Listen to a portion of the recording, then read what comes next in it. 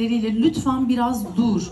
Birazcık e, kendinle kalabilmeyi, anda kalabilmeyi başar e, telkinlerini çok duyuyordum ama bunu galiba çok iyi idrak edemiyordum.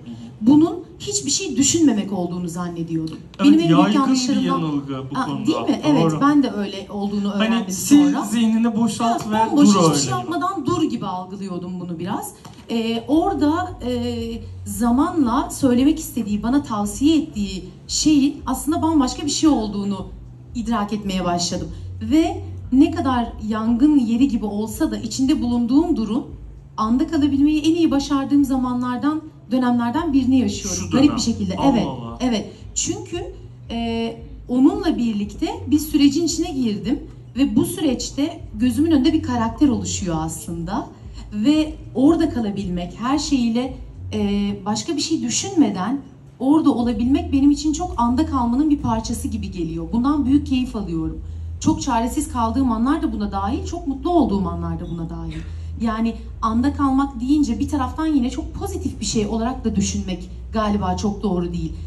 E, hissettiğimiz şey her neyse onunla kalabilmek, Evet. e, başka şeyler yaparken de kafamızla orada kalabilmek, onu arka tarafta yine çalıştırabilmek ve e, bunu iyi bir yere çekip verimli bir hale de getirebilmek hayatımızın genelinde. Evet bir de biz çoğunlukla olarak o işin de setine gidip geliyordu. Ben de o kadar merak ediyorum ki nasıl gidiyor, iyi misin?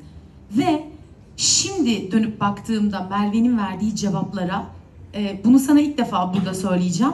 O kadar ilginç bir şey ki Merve nasıl bir karakter diyordum. Çok da bir şey söyleyemiyor kız haklı olarak. Orada bir gizlilik söz konusu. Ama Merve benimle oynadığı karakter gibi konuşmaya başlamıştı. Kafasının bir tarafında çünkü onu o ezberini yaptığı dönemi o kadar net hatırlıyorum ki arkadaşlar. Çok uzun filmi izleyenler bilirler. Çok uzun bir blok vardır orada ve Merve orayı full ezberlemişti. Yaklaşık böyle 20 sayfa falan yanılmıyorsam öyle değil mi? Ve 20 sayfayı ezberleyerek e, o sahneyi böyle akıtıyorlar yani hiç kesmeden ve o sahneye yani o bloğa çalışırken e, işte nasıl geçiyor, ezberin nasıl oldu diyorum. Merve böyle bir kaşını kaldırıp benim filmde izlediğim gibi bir karakter olmaya başladı. O, o şekilde cevap veriyordu. Ama tabii şimdi filmi izledim. E, Merve'nin o dönemki döne- yani bana verdiği cevaplardaki ifadesini hatırladım. Konuş yani normal Merve'yi görmüyorum. E, başka bir setteyiz. Oradaki karakterle de alakalı bir şey görmüyorum. Sadece karakterle ilgili kafasında kurmaya çalıştığı şeyleri cevaplarken resim öyle olmaya başlıyormuş meğer. Aslında bence anda kalmak tam da böyle bir şey. Bu çok kıymetli bir şey. Ee, Çok doğru. Siz başka bir yerde olabilirsiniz, başka bir şeyle ilgileniyor olabilirsiniz. Ama kafanızın hani telefonumuzda çok fazla arka planda program çalışıyor ya, işte uygulama çalışıyor ya, çok şarjını yiyor. Kaldıralım şunları diyoruz ve yukarı kaydırıyoruz. Aslında kaydırmayıp orada e, şarjı yemeye devam eden yer tam da orası oluyor. Arka tarafta zihin onu devam ettiriyor düşünmeye. Çünkü bir şeyleri oturtmaya çalışıyorsun Evet. kafanda. Mesleğinle ilgili. Bu hepimiz için geçerli. Boyunca, bir yıl boyunca orta sonda babam bana yılbaşında gitar aldı hediye. Bu kız herhalde müzik, işte tiyatro seviyor. Ben bir gitar alayım dedi. Ve ben lise 1'e başladım. Saçlarımı 3 numara yaptım. Üzerime şöyle o zaman Afrodit diye bir dükkan vardı. Oradan böyle sahte deri şurada bana herkes Matrix geldi diyordu.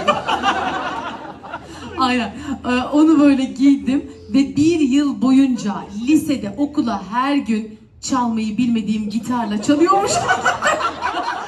Ve tabii sırtımda ve hatta müzisyen bir arkadaşım var çok sevdiğim hala görüşürüz.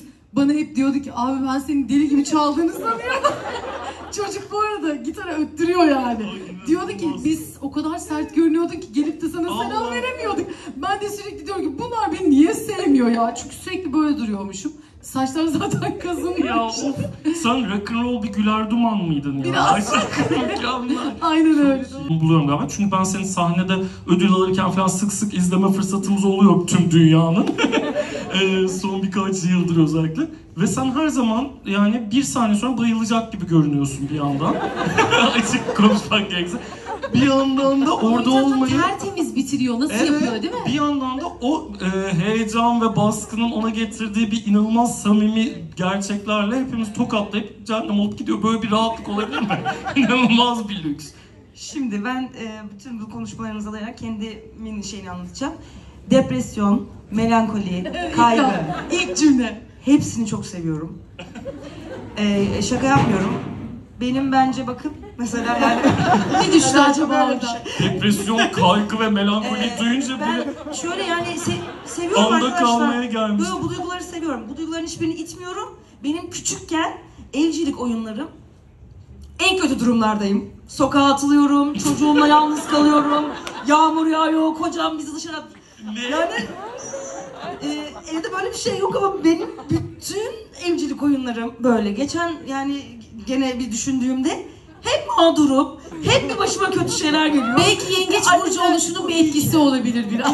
Yüzde yüz, yüzde yüz. Ya hep çok üzülüyorum ve çok ağlıyorum ve işin daha fenası mesela e, ben Ezgi'nin odasına gidiyorum. İkimizin can- canı sıkkınsa mesela müthiş bir an bence. İkimiz oturuyoruz ve ya ben ondan bir hüzün ya üzülüyorsak da üzülüyoruz yani bu bunu iti, iti, ötelemiyorum. Bu arada ben de Ee, sana en birazcık sevdiğim şey. gittikçe seni kaynatacak bir şey yapıyorum. Benim odama geliyor mesela bende de yani en dramatik şarkılar çalıyor. Kızım böyle yangına körükle gidiyorum ya. Aynen yani şey şey değilim. Bu bunlar doğru bir şey söylemiyorum. Bu doğru ya da herkes böyle yapsın demiyorum asla. Bence zor bir şey ama benim e, artık hem 38'ime gelirken de herhalde beslendiğim yerlerde buralar. Buraları Evet e, bu güzel bir nokta bence. şey yapamıyorum. Çünkü Her anda kalıyorum bence. kendine kend... Beni derin dehlizlere zaten sürüklüyor ve kendimle sürekli kaldığımda sürekli kendimi yargılıyorum bence. O yüzden sürekli bir şey yapmam lazım. Benim. Yani bir işle uğraşmam lazım. Bir bir şey, bir şey. Boş kalınca bana olmuyor. Ben bunu da anladım. boş kalmak diyorsun ha koca mindfulness'a. Çok iyi bu arada.